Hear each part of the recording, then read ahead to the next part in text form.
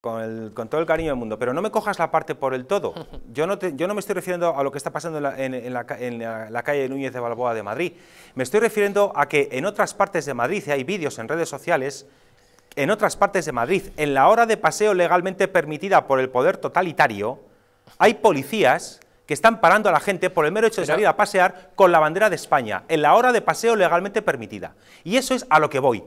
Yo no voy a que, pero un momento, Cristiano, yo no voy a que la policía haga dejación de funciones de verificar que fuera de esas horas de paseo que la gente eh, tenga un motivo eh, justificado para estar en la calle y por tanto eh, se, se, cumpla el estado de alarma. No estoy yendo a eso. A mí también me ha parado en alguna ocasión la policía local volviendo a mi municipio de residencia, justo saliendo después de aquí de la tertulia, y, ¿dónde viene usted? Pues vengo tal, enseñaros el, el, fin, el justificante, etcétera, etcétera, pero yo lo que no hubiera permitido es que me hubieran tomado nota de mi, de mi DNI porque a lo mejor en mi coche hubiera llevado una bandera de España, que sería el equivalente.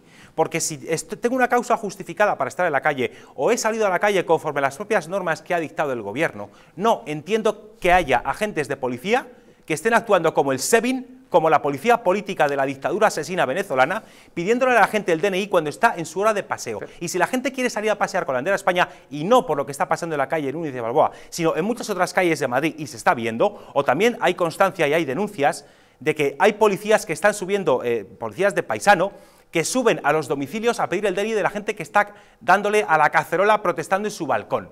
Oiga, esto no es Venezuela, de momento que yo sepa no es Venezuela. ¿Qué narices hacen policías subiendo a, la casa de gente a pedir el DNI porque estén protestando dando la cacerolada en el balcón? Que esto no es Venezuela, que no, que esto es inadmisible, que esto no se puede permitir.